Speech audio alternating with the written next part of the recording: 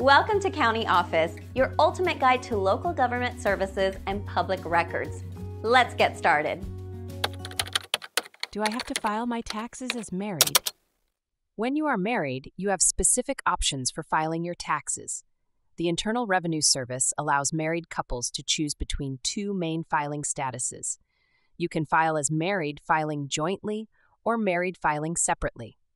Filing jointly usually provides more benefits, including higher income thresholds for tax brackets.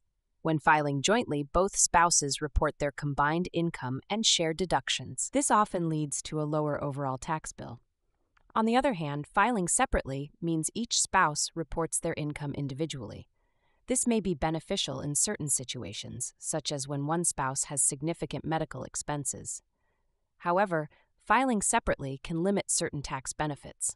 For instance, you may not qualify for credits like the Earned Income Tax Credit. It is essential to consider your financial situation and consult a tax professional to determine the best option for you. Additionally, if you and your spouse choose to file separately, both must either itemize deductions or take the standard deduction.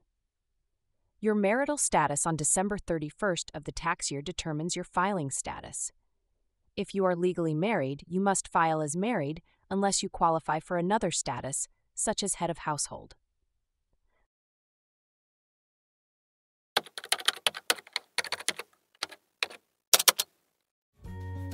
To learn more, check out these links, which you can click in the description below. And feel free to comment your questions. We're here to help. Thanks for tuning in to our video. Please like and subscribe and leave a comment below. See you in the next video.